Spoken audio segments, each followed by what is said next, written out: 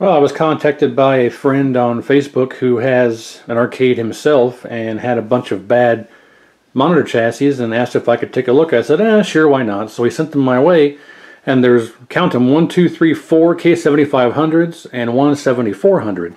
These are all advertised as not working.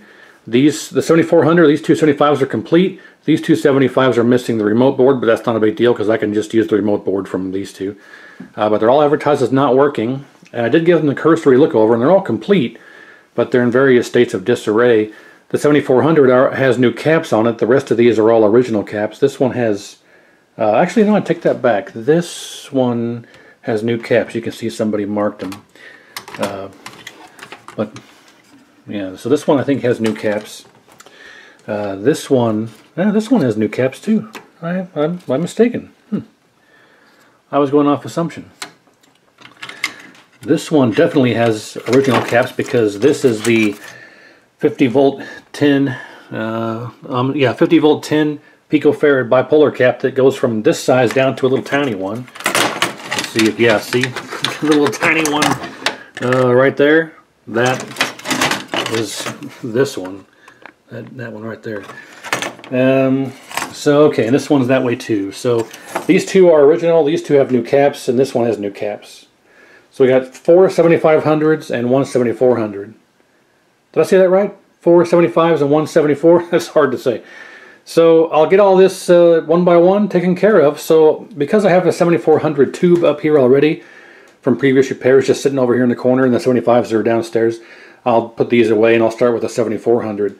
Um, so yeah, let me uh, get everything set up and we'll start working on the 7400, inspect it and see what we can find. All right, 7400. Uh, let's, first things first here, let's get rid of all of our ancillary stuff. So we'll disconnect our remote board. I always use two hands at the same time, not try and wiggle it because you'll bend the pins, which isn't a big deal if you do, but it's still uh, not desirable. And the same thing here, we'll just pull that off the neck board, disconnect our G2 wire, and fold open our wire for the focus. Now this is up and out of the way. So now you can turn this around and have it this other stuff not be in your way. So I prefer to do that. Uh, like I say, this has had new caps, and I like that someone has done what I do, and when they change the caps out, they put the marks on them. Uh, you can see the lines and Sharpie on these. So I actually, that's one of the things that I like when someone does that. Here's another one of those bipolar caps that goes from a giant cap to a tiny one. So you can always tell if there's been new caps by if someone has replaced the giant bipolar cap with the smaller one. You know times change technology changes so um, all right. So we're assuming this doesn't work. So I guess what we'll do is we'll start with our uh, voltage regulator which again is Q101 this guy over here. And we'll flip this around and we'll do some zooming in here. And diode. A little bit too much. Alright, so our voltage regulator should be these tri triangular tabs here. One, one, two, three, these three. And we'll go negative on the base, and then we'll touch each leg. This should be, you know, 0.6 and I think 1.0 something or other. So we should read our, our diode. Is that, okay, read, this should be a, a diode. There you go, 0.5. This should be one point something or other. Yep, so that's good. Um, just to make sure we don't have anything in the power supply that's shorted other than the voltage regulator, we'll go ahead and test the, uh, what is it? It's R104, which is this ceramic one, should be 10 k ohm. And if any of this other stuff was shorted, this would read shorted as well, so let's just test that. 10 k ohm, good. All right. So let's do our um, switch mode power supply chip. Again, you want to have the, the power supply section here facing away from you. And you'll go back to diode checker. And we'll test these two pads. Should read like a diode. I believe it's negative on the right. This should be a diode. Or do I have it backwards? There we go, I had it backwards. Uh, okay, 0.6, I guess negative on the left side. So that's good. This should read the same thing, give or take. That's good. This should be around, I believe, what was it, 1 point, 1 point something? Yeah, 1.7, that's good. And this should be 1 point something. Yeah. So, yeah, that's good. That's Those are the readings you should read somewhat around there close to it when you read that switch mode power supply chip. So that is good. Um, that's not shorted, so I'm betting our power supply is good. Now on the 7400, there is a specific um, capacitor here, and it's a film, metal film capacitor. It's C121, and when you go to read it, uh, you want to make sure it's not shorted. You can do it on you can do it on continuity or diode checker or resistance doesn't matter. Um, but you want to basically make sure, I'll do it on continuity, you want to make sure this isn't shorted. If C121 is shorted, you're going to be blowing your HOT, which well, check here in a minute, but we'll make sure this isn't shorted. If C121 is good, uh, it's highly likely the HOT is still good. So we will test C121, get out of here, flyback wire, we'll touch each side, and it's not shorted. So that's good. Uh, that's the one thing that can kill HOTs um, if it's bad.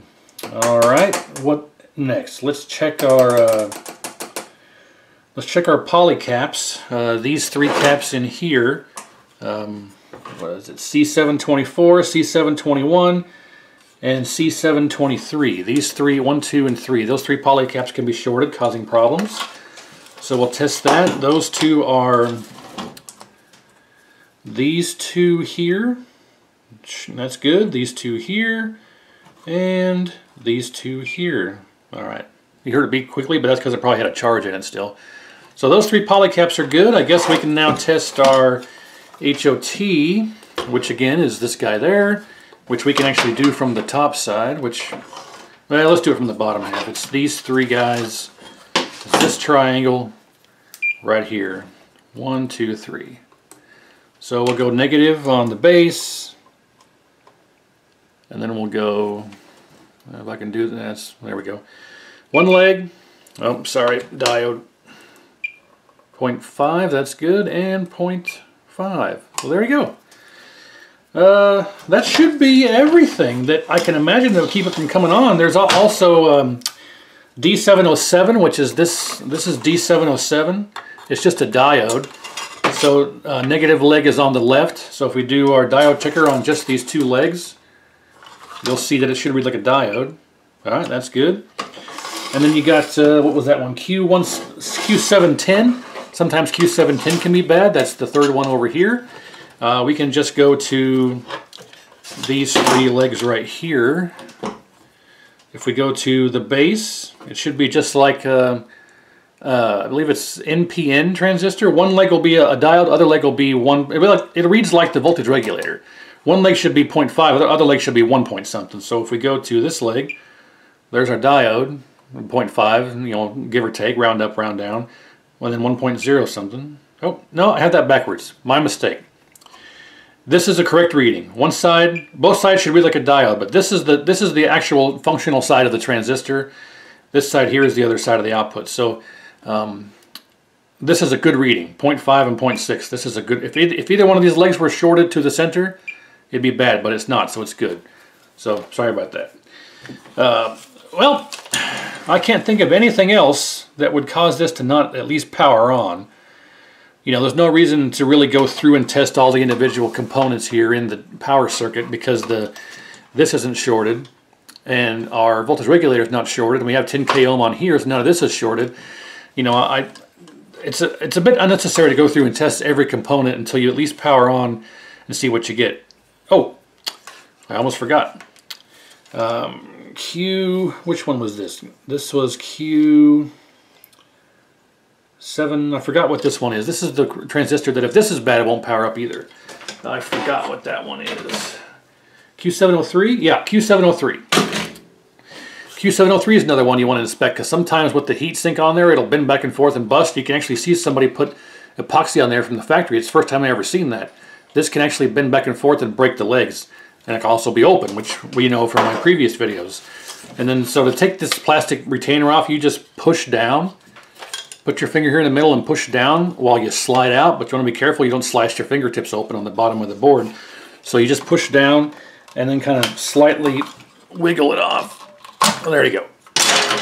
So we got to take that off to test Q703. And it is, it's these three right here. Let's zoom in a bit.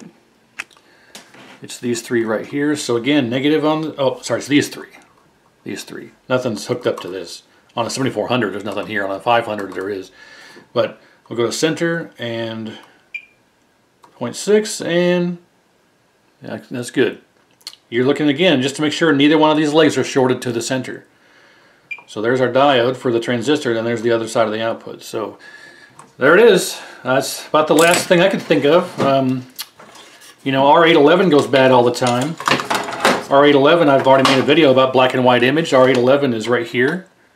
This is R811. On the 7500, I think it's up over here. Uh, and the U5000, I think it's up, but on this one it's right there. I could be mistaken, but we'll test we'll test it when we get to the 7500s. But it's again, it should read between 50 50 k ohm and 100 k ohm, somewhere in between there. So if we test this in circuit here, one side and the other.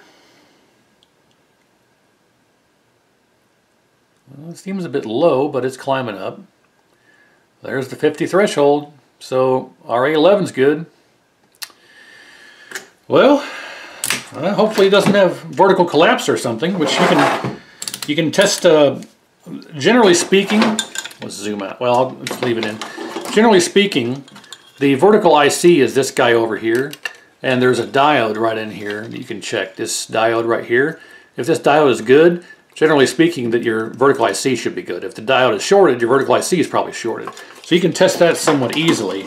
Again, just like any other diode, negative on the side with the stripe. Oh, wrong way. And we'll sneak in here, negative on the side with the stripe, and 0.580, or 0.5 ground down. I just say 0.5, so all right, I don't see anything wrong with this. Unless the flyback is bad, um, I don't see any other issues. So let's get it hooked up and turn it on and see what happens. And maybe it works just fine. I can't say. Uh, let's hook our neck board back up.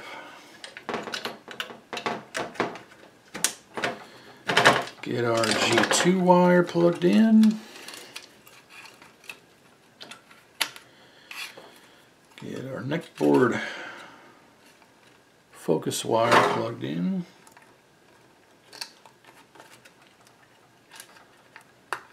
Alright, and our remote board. And it's always a good idea to inspect your neck board and your remote board because you never know the condition these are going to be in. It looks, this is a much newer, this is one of the latest releases of the 7400 because you can see it's got the much better heat sinks on there. So this is a very late revision of the 7400. Um, let's zoom in on here. Uh, some of this isn't the best. These are kind of oxidized here from the heat, as well as these these here are oxidized from heat. Um, this pad's lifted, very common with these. I don't know if we'll be able to, you can kind of see it wiggle a bit, maybe not. Um, yeah, so this needs some reflow, but not nothing too bad. Everything's connected, so I'm not going to worry about it. But you want to inspect this to make sure you don't have, you know, tr broken traces. You know, if you're missing blue, red, or green, make sure you don't have broken traces. Um, a lot of times, if you're missing a color, it's most likely these. But if you're if you have a color that's completely overdriven, like let's say your entire screen is nothing but blue, completely blue, you can have um, a shorted transistor. You could have, well, the, the main transistor could be shorted. One of your resistors could be open. Uh, either any of these three transistors could be open. Well, according to, like, let's say it's all blue. It's all blue. It's, you know, red, I think it's red, green, blue. So we'll say this one's blue. If the screen is completely blue, you could have a, an open resistor here. You could have a shorted transistor. This transistor could be shorted. You could have, um, I've seen this resistor go bad right here next to the socket. You could have any of these transistors. These transistors will also uh, short and cause it to be all one color. Um, what else? There was, there was something else. Oh, I actually recently had one that was all blue and the chip was bad on the on the uh, neck board. I replaced the blue transistor. This transistor was shorted and the chip was shorted. So I changed out the transistor and the chip and that fixed the all blue image. But it uh, in all of the years I've been doing this, this chip, this is the first time ever the chip was actually bad. Usually it's going to be one of these transistors here, uh, open resistor, a shorted main transistor, one of these transistors is shorted. Uh, I think that's about it. This resistor here, I think gave me an all, all uh, one color image one time. Um, I think this resistor shorted too, I can't remember.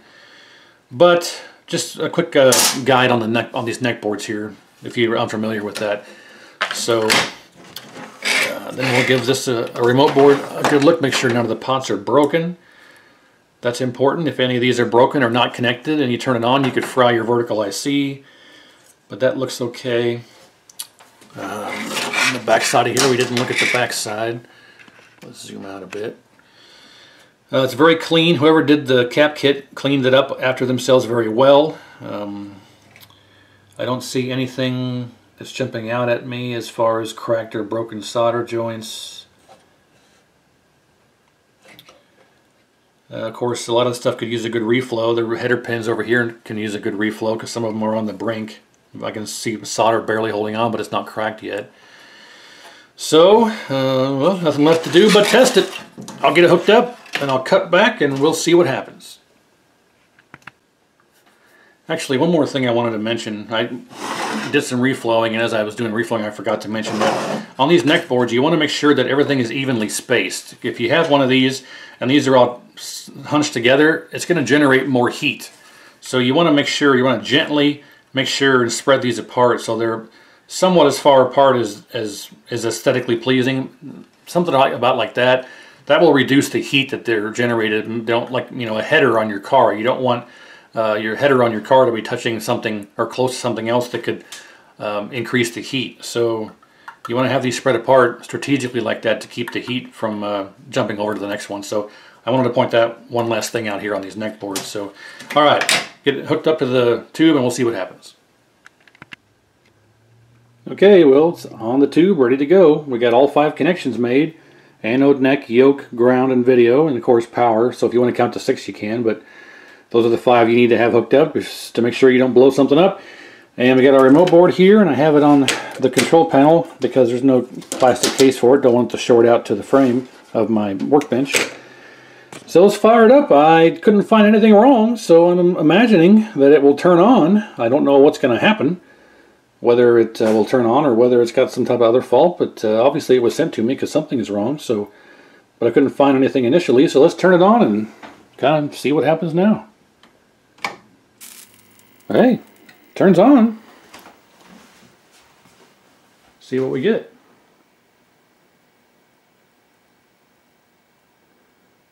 Huh. It's a bit dark. But that's odd.